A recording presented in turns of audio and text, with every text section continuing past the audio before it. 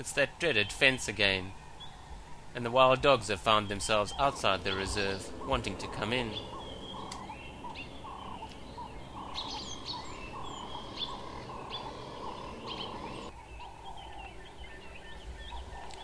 And more especially so, as Jiggy's on the inside.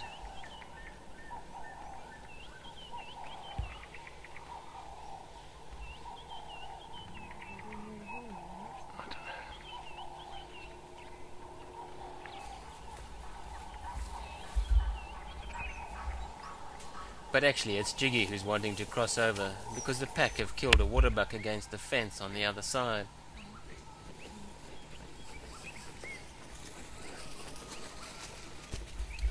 These pups are really keen to cross back to Dad.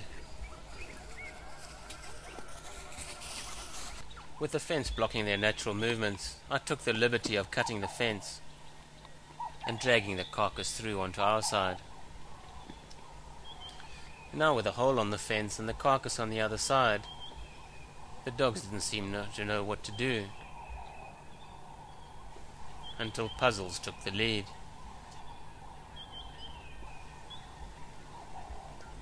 Except for Jiggy, the pack were really well fed, and so the pups really didn't have much incentive to cross back.